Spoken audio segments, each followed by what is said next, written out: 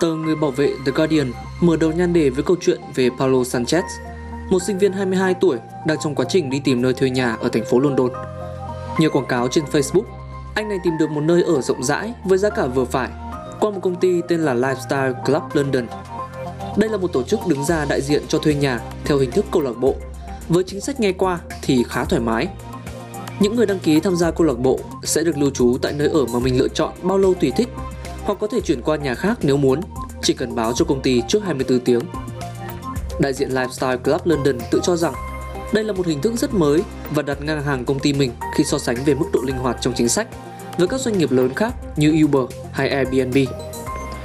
Thoạt nghe thì có vẻ như đây là lựa chọn tuyệt vời cho nhiều đối tượng thuê nhà, đặc biệt là các sinh viên ngoại quốc tới Anh du học.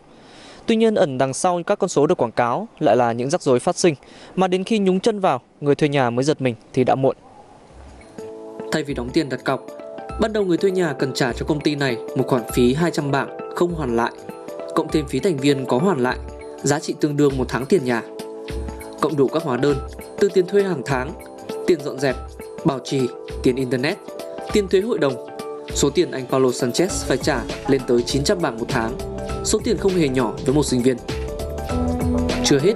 nếu không để ý kỹ, người thuê nhà hay các thành viên câu lạc bộ sẽ không biết rằng có những quy định ngoái oăm đằng sau các điều khoản và điều kiện công ty đưa ra. Thành viên nếu có yêu cầu thay thế hoặc bổ sung nội thất sẽ phải trả một nửa chi phí và tài sản sẽ thuộc sở hữu của câu lạc bộ, tức công ty Lifestyle Club London.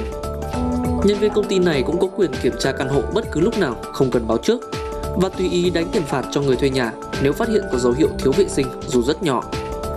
Sanchez và 8 người thuê nhà chung đã từng bị phạt tổng cộng hơn 300 bảng cho những lý do không thỏa đáng như chưa rửa bát đĩa sau khi ăn xong.